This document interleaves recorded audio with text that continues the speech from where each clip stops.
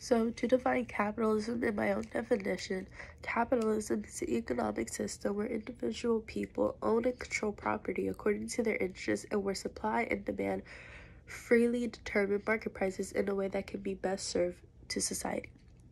As many unique features, some of which include a two class system, private ownership, profit motive, minimal government intervention, and competition.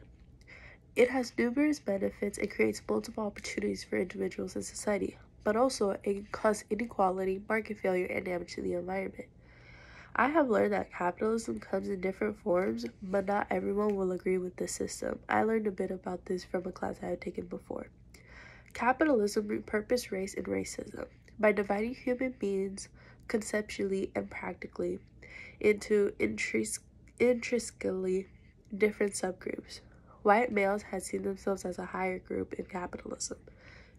The impact capitalism has on immigration patterns is capitalism had a long, ugly history of scapegoating immigrants. The pattern has been repeated often.